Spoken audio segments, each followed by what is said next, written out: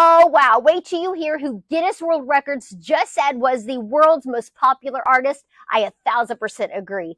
Jay Z, forget Beyonce. Her husband Jay Z is worth $2.5 billion. And I'm going to tell you how he racked up that much cash. And Ben Affleck and Matt Damon, they really got to be best friends because when they were young actors, they shared a joint bank account. That's kind of weird. I wouldn't even share a joint bank account with my family, but that's coming up next.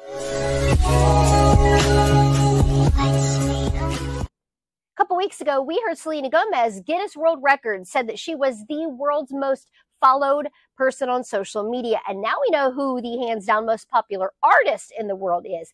It's The Weeknd. He has sold over 17 million albums worldwide. He's got the official title from Guinness. It's going to take a lot to outdo The Weeknd. Plus, he's got movies and TV shows that he's doing right now. Dude's killing it. So Jay Z killing the game. Now Beyonce, yeah, she's all good and well, but her husband is making the cash, man. He is worth two and a half billion dollars after the sale of his alcohol brand. He sold 50% of his stake in his cognac brand back to its parent company, Bacardi. $750 million on that after a bad court battle and he still retains a sizable ownership in the brand. So he's still bringing money in from that.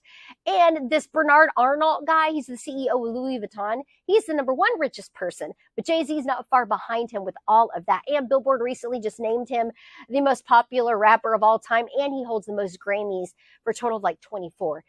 Matt Damon and Ben Affleck, I knew they were best friends, but this just shows me how best of friends they really were. I wouldn't even share a joint bank account with my family, but these two best friends shared it when they were young actors. At least they always knew that their bills were going to get paid.